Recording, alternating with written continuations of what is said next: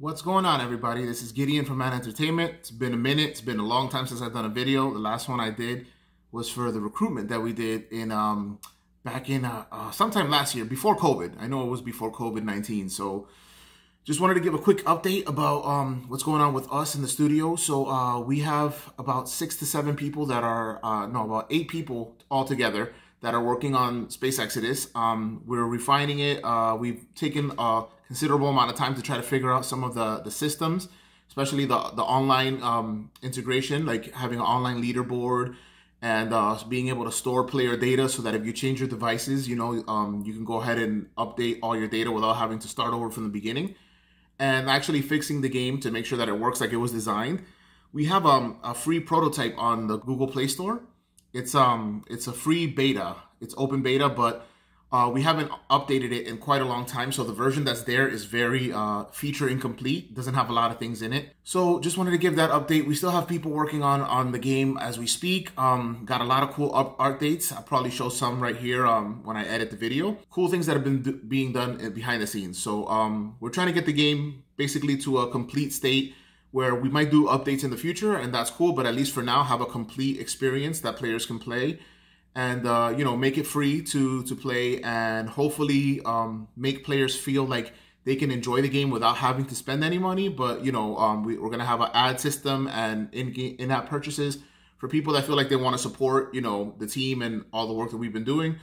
That'll be that for that. So without further ado i'll go ahead and drop that intro, and then after the intro, we'll get into the new topic, which is the title of the video.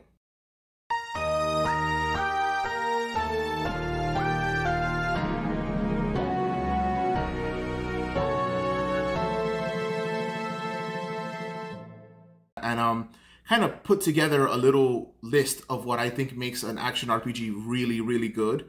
And um, also the reason why I haven't been like a big fan of action RPGs lately but um, you know, and uh, specifically Final Fantasy VII remake. So uh, yeah, I, I hate the game. I, I don't like it at all. And Final Fantasy 15, I, I don't remember anything about it. The characters were memorable and stuff like that, right? So pretty much what I concluded or what I figured out, at least this is um my opinion or analysis on on you know action RPGs in general is I feel like number one, if you have an RPG in the title, you have a role playing game, right? So you're going to play the role of a character, that's fine. But RPGs have always been known, the best RPGs have been known for having really good stories, you know, for having sweeping stories with characters that are memorable, that are, um, you know, uh, they have good character development arcs. The story actually is engrossing or deep or actually makes you care about the characters and what they're going through and makes you feel invested in the characters, right? So those are the four things for a story that needs to be really, really well done for an action RPG, or I'm sorry, for an RPG period, right? But then when you decide to make a game an action RPG, you know, you can go the turn-based route or you can go the strategy route, which is two of my favorite genres, is turn-based RPGs and um, but I really, really love strategy RPGs. And what I mean by that are tactical RPGs so you could think of games like Final Fantasy Tactics. Um, a more modern example would be something like Valkyria Chronicles, but I also love the original Shining Force 1 and 2 for the Sega Genesis. Um, you know, uh, Ogre Battle and uh, Tactics Ogre, those games were my jam. And of course, the Final Fantasy Tactics Advanced games.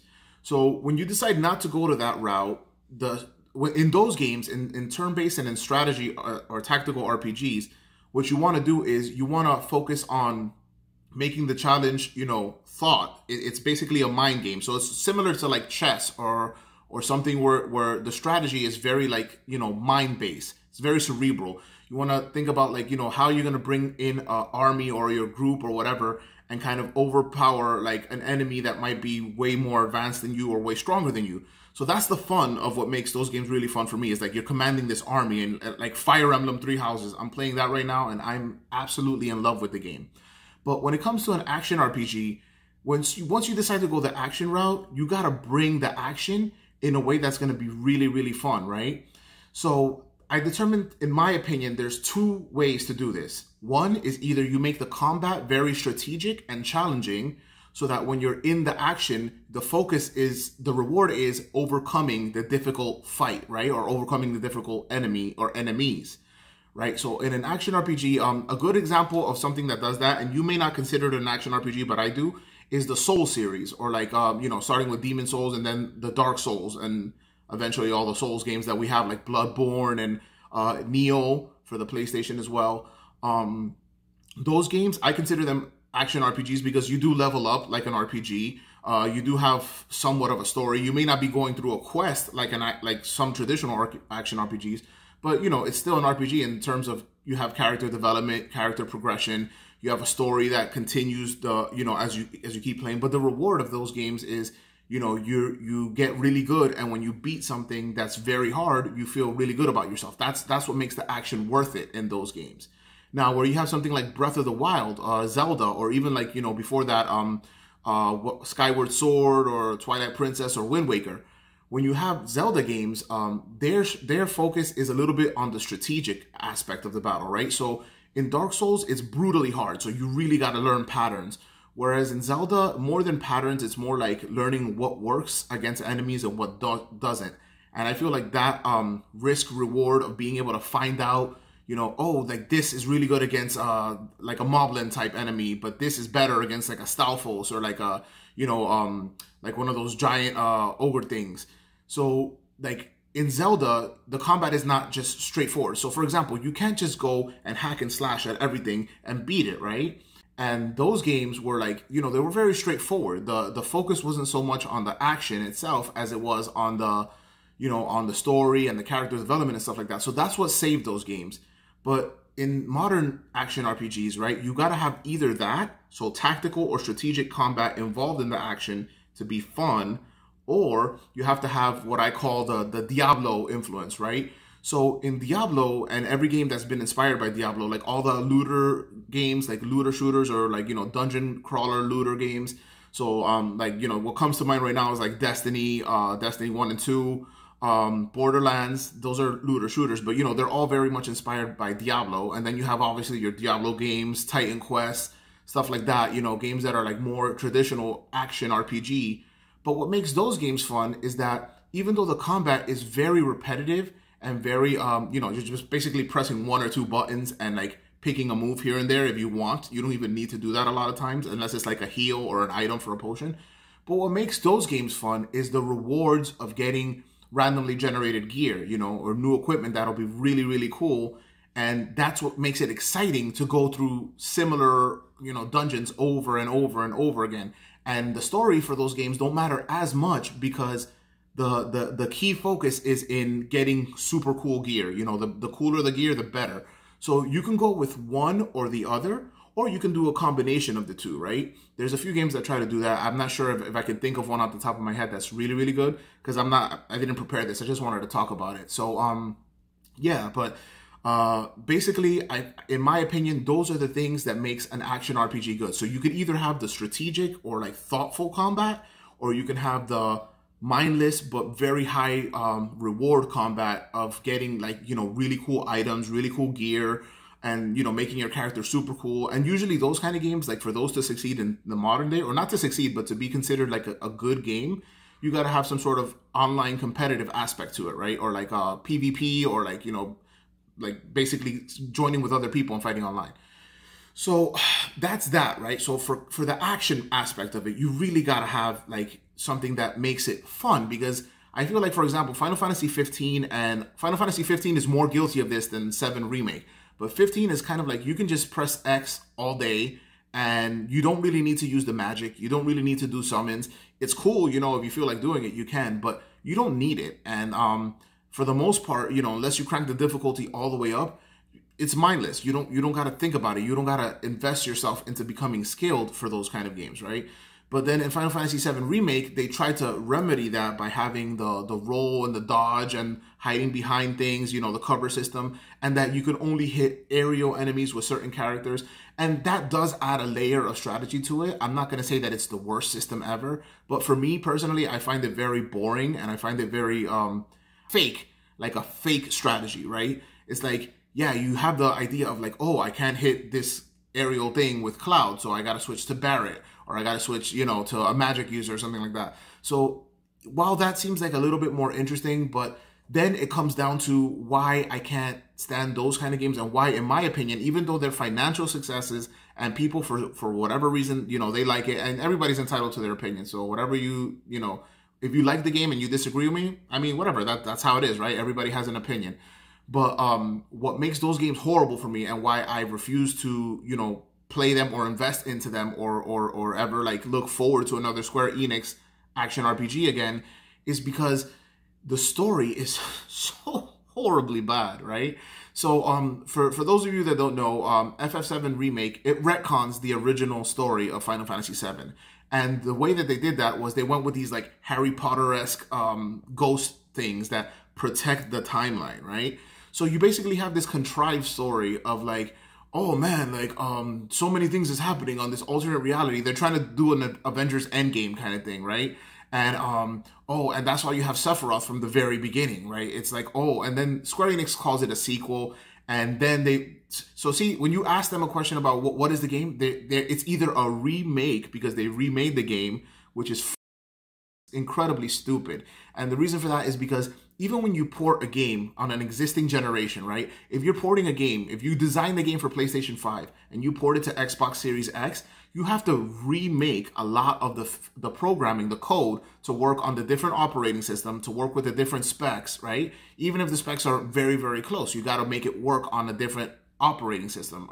Which is why for our game for Android, we can't just take the game and copy the, the code and paste it into the uh, the iOS version. Yeah, so you actually need to look for someone uh, who's going to be able to port the code or translate the code to work on the iOS, on Apple phones, right? Or on iPads or on uh, whatever iProduct. And that's not something you could just do by like saying, here, let me copy the code and paste it and it's done. Like that's not how it works. So by that definition that Square Enix gave of like, oh, it's a remake because we remade the game from the ground up. No, it's not. It's a reimagining, it's a reboot. But then you ask them, you press people on this, right? And they say, oh, it's a sequel. Don't you get it? You have to play the games to know it's a sequel. Well, yeah, guess what? I seen the I seen the playthroughs. I I seen the ending of the game. I seen the entire story from beginning to end, and it's not a sequel. That's not how you do a sequel. If you do a sequel and call it a reboot, then you're a horrible storyteller, right? And uh, not for nothing, but I blame Tetsuya Nomura's influence on Final Fantasy because ever since he got involved, I mean, just look at Kingdom Hearts 3. The only reason I played and beat Kingdom Hearts 3 is because my daughters enjoy Disney characters and they love the Frozen part. And for me that was nice. You know i like to give them like something to to watch or to enjoy with their daddy. So that was fun for me to do. But i hated kingdom hearts 3 i was like this is the most contrived most like wishy-washy plot hole incomplete story i've ever played in a game. And i loved kingdom hearts 1 and 2 so i don't know what happened. I mean i feel like this is like something like where they they let him off the reins and that's what we get we get weird alternate reality time travel interacting with the same characters among different times and different dimensions and all this kind of crap. And if you think about it, all of that could be done very elegantly and very cool if you kind of build up to it. Like, you know, Avengers Endgame didn't just throw that at you at the last minute. So anyway, I'm ranting a little bit, but you know, I'm gonna end it here so I can keep the video kind of short. So just to recap and just to you know reiterate what I was saying. What makes an action RPG good is first of all you got to have a good writing team. You got to have a good story. You got to have good characters that are memorable. You know, well designed characters in the writing and the design. You got to have uh, character progression. You got to have them go through something, right? Like who cares about a character if they're just like existing and they don't do anything or they, they don't have any challenges. Nothing is making them you know succeed or go forward or push forward or whatever. You got to have good story, good character development, a good plot, good directing too, because it's it, a lot of it has to do with timing, right? Because if you look at Final Fantasy VII, the original, it took us like the first disc just about to get to the point where we have that famous Aerith Aerith scene, you know, the Aerith scene where that happens was impactful. It, it really hits you hard because you're like, oh, wow, you built up all this time and you didn't see it coming the first time around. But when they did it in the remake, it was just like, oh, remember that scene? Well, guess what? We're going to make it look even cooler with fancy graphics. Like good graphics and good audio, that's, that's, that should be a, a, a standard. That shouldn't be something that you set as, as like, oh, wow, look, our game looks so good. Look at the graphics. Like buy it because of the graphics. Like that's, that's stupid. If you want good graphics, just watch a movie, right? Just watch a good movie. Watch a CGI movie or watch a good movie that's that's out. You know, uh, Hollywood has good graphics all the time. I mean, look at the Transformers movies or or like you know anything by um what's this guy that he loves explosions. Uh, I forgot his name, but whatever. Um, if I remember, I'll, I'll, I'll, put it in the. Anyway, my point is, you can just watch a, a big budget Hollywood movie. There's uh, Kong versus Godzilla coming out soon. That has amazing graphics. I mean, I the story looks stupid. It looks ridiculous. But when I seen King Kong clocked the the freaking Godzilla and and you just see him falling into the ocean, I was like, oh snap! That's the kind of mindless action that I'm okay with because it's a movie. It's a ten to let's say twenty dollar investment at the most, right? And if I decide to buy the movie, which I wouldn't, I would just rent it or stream it. If I decided to buy the movie, 25 bucks, okay? We're not talking a $60 thing that I'm gonna invest hours and hours and hours and hours of my time to have this mediocre, wishy washy story with horrible or boring, uninspired combat. FF7 Crisis Core, okay? Let me just, as a FYI, Final Fantasy VII Crisis Core had an amazing story because it was already working with the with what the original built in Final Fantasy VII. It was well done, and because it was well done, I was able to enjoy, even though the combat was kind of mediocre. I didn't care for the combat. It was challenging at times, but it wasn't anything that I would go back and play the game like, oh my god, I need to play this game so bad. I ranted a little bit. I let you guys know what was going on with Manna Entertainment. Um, we have some cool stuff that hopefully we'll be sharing with you guys soon. And that's my take on what makes an action RPG good. Thank you so much for watching. I appreciate all the likes, all the views, uh, any subscriptions that you guys have is cool. For the future, we're going to try to keep the videos more professional, more on a business tip. But I just wanted to do this because, you know, we're still uh, an indie company and I have fun doing these videos every now and then. It's not something that I'm trying to become like a big YouTuber or anything like that. But I enjoy, you know, having conversations. And if you guys have any thoughts on this, if you disagree with me, let me know why in the comment section down below. And if you do agree with us, you know, show us some love. Like, let us know uh, what you agree with and what you don't. This is Gideon from Manna Entertainment. It's been a good one. Peace. Stay safe. Wear masks. Um, yeah. Speaking of masks, I got my mask. I'm gonna go pick up my kids now. So be good. Stay safe. COVID 19 is real out there. It sucks. And uh, hope everything goes well for everybody, man. Have a good one. Happy 2021. May it be better than 2020. And now I'm gonna drop this picture that I made, and hopefully you guys can check it out and spread it around, make a meme out of it, make it uh, fun or whatever. All right. Have a good one, guys. Peace.